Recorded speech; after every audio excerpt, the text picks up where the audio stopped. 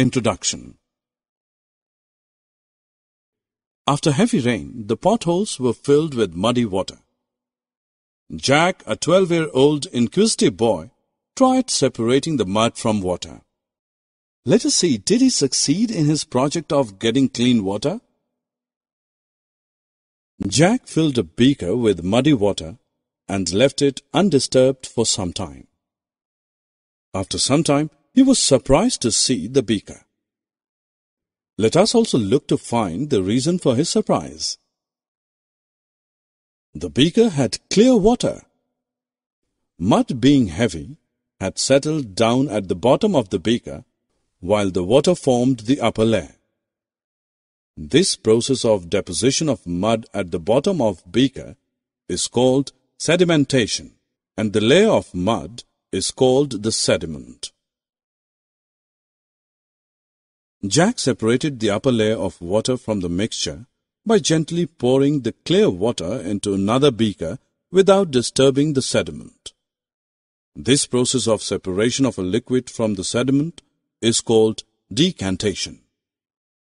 Similarly, there are other separation methods too. Let us discover them in this module. Children, after preparing tea, this tea stall owner pours the mixture into the tea strainer. The tea passes through the holes of tea strainer, leaving behind the tea leaves in it. This process of separation is known as filtration.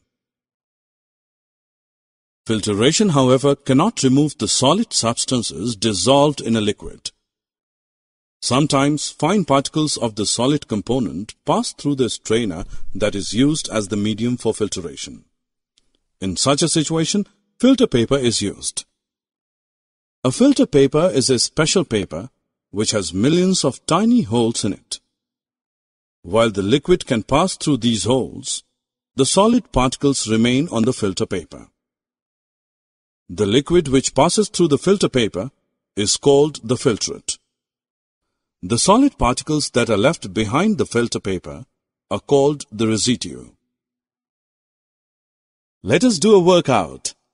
If you are given a mixture containing water, sand and salt, how will you separate the three components from one another? You will leave the mixture undisturbed for a while to separate sand. Sand, which is heavy and insoluble in water, settles down at the bottom of container. The mixture is then separated by decantation to get sand. Now, as salt being soluble, is completely dissolved in water. This is done through evaporation and condensation. Let us look what we mean by these two terms. When we have a mixture of salt in water to separate, we take the solution in a kettle and cover it with a lid. Now gently heat the kettle for some time. Heating transforms water into vapor that escapes from the spout of kettle. Continue heating till all the water gets converted into vapor and only salt is left behind in the kettle. Thus, salt dissolved in water can be separated from the water through this process. This process of conversion of water into vapor by heating is called evaporation. In order to obtain the water while heating the salt water, hold a plate containing ice just above the spout of the kettle. When the steam escaping through the spout comes in contact with the plate containing ice, it condenses and forms water. This process gives us back the water. This process of conversion of water vapor into water is called condensation. Water is a universal solvent. It dissolves many things. But there are certain items that do not dissolve in water. Collect sand, milk, lemon juice and wax. Also take some sugar and salt. Try to dissolve these materials in water separately. Make a table of your observations. Compare your observation table with the table shown on screen. Let us now do another workout. Take a beaker and dissolve some amount of salt in it. Go on adding salt to the solution. As long as the salt is dissolved in water, the solution is an unsaturated solution. But a stage will soon come when you will not be able to dissolve more salt in the solution.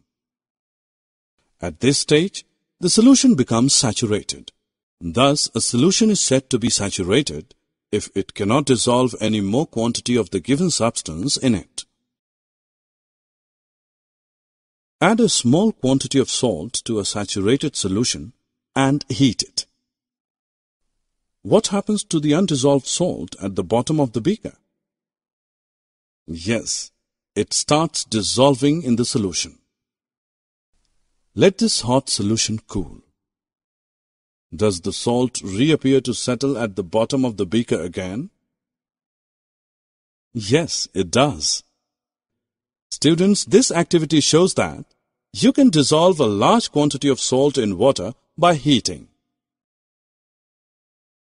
Summary Let us summarize what we have learned. Sedimentation is the process by which the insoluble heavy particles in a liquid are allowed to settle down.